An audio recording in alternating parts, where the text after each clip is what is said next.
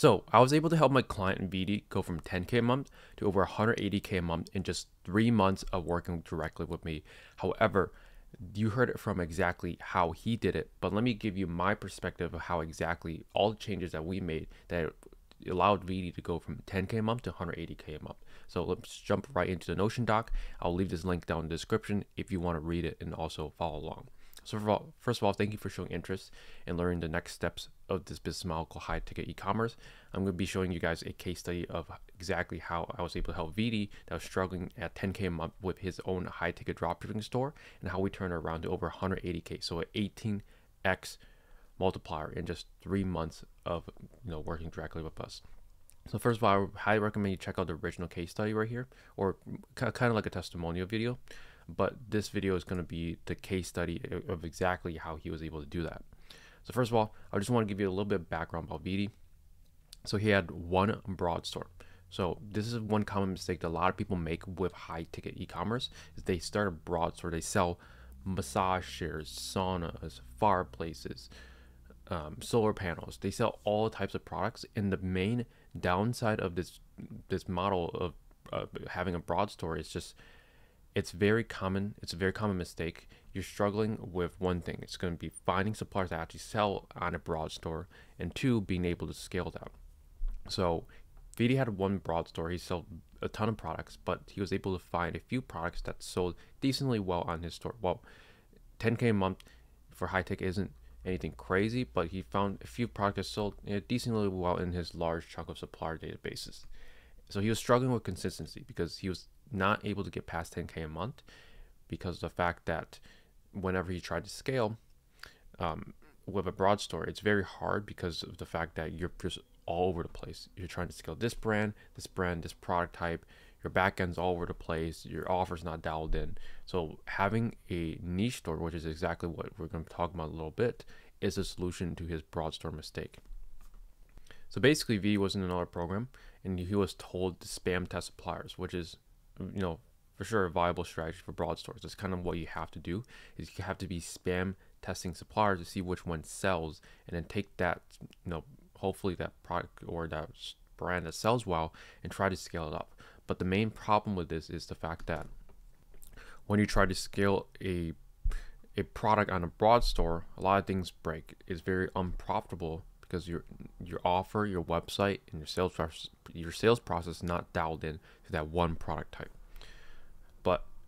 Basically, once you find a good supplier, it's unscalable because you have to cater everything towards just one supplier, which will cause everything else to convert horribly.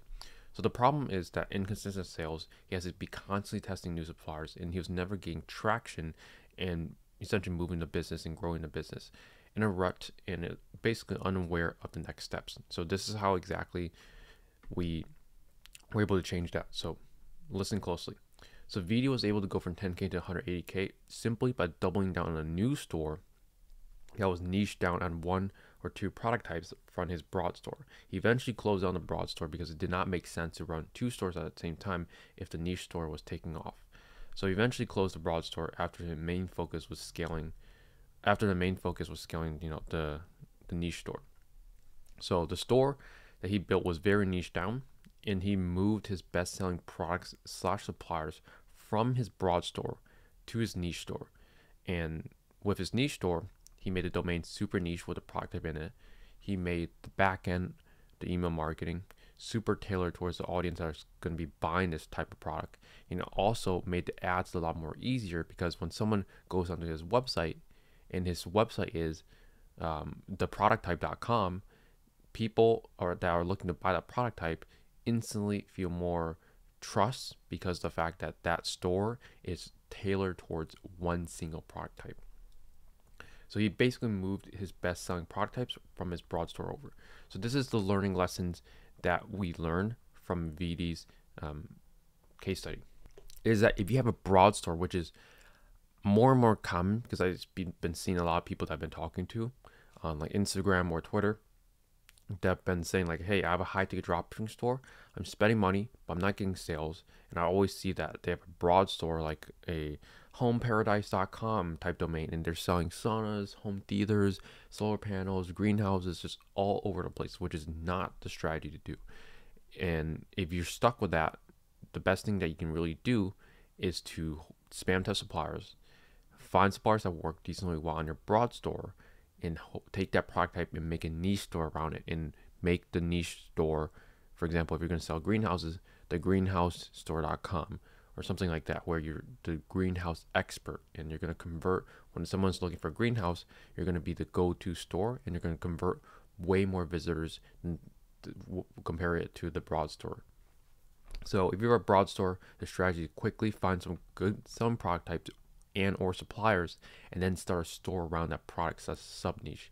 And having all your attention focused on just making one product sell is just a lot more attainable because you don't your focus you only have so much focus in a single day and you have so much bandwidth in a single day. You may as well put that into something that you know that if you crack you will be profitable and do really really well for yourself but the main thing is to find that one product type first from that broad store if you have that so don't spread your focus too thin what I recommend if you're not if you don't have a high ticket dropshipping store is just have a niche store to start out with.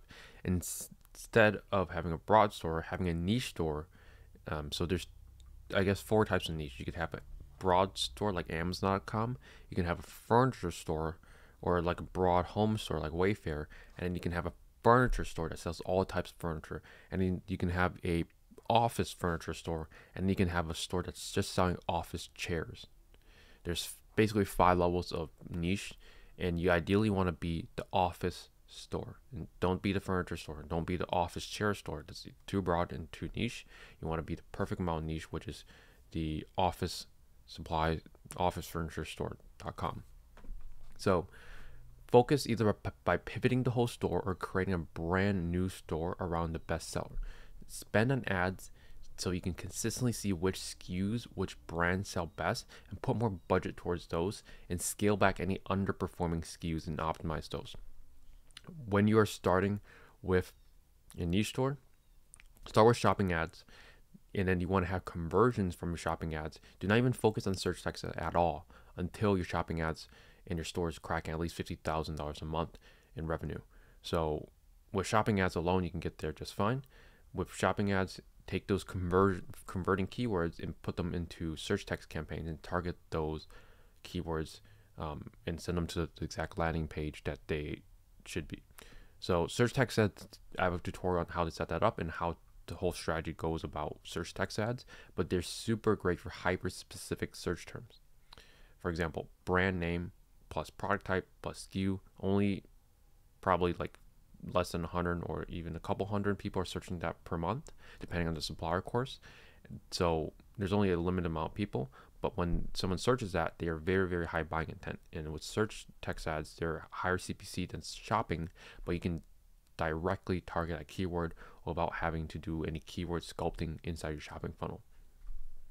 So search text ads, they're super hyper specific and after you have more and more market share, then you want to go up the funnel, meaning that eventually, if you have a store just selling like office, let's just say office chairs, and you got all the suppliers for those office chairs, and you're bidding on the low, and you're bidding on the medium, and you're just capped out. Well, the only way to really go up the to scale is really just go up the funnel, meaning that you want to get more market share. You want to reinvest part of your budget into the high campaign and into the high campaign shopping. So the high campaign shopping is going to be a little bit harder of a campaign to crack, but it's going to take it longer to crack, but is more profitable um, long term for your business. Meaning that if you crack a high campaign in the shopping, um, people that are going to click on those search terms or click on those ads, they're going to be put on your remarketing list, and then it's indirectly going to feed your medium and low campaigns in your remarketing campaigns, and they're going to make them more profitable. So essentially, to scale, you have to be spending on generic keywords. Um, so you can be building a moat and you won't be able, you won't have to compete with other people that are just trying to outbid you on medium and low campaigns. So that's it. That's how you really win with high tech e-commerce in a nutshell.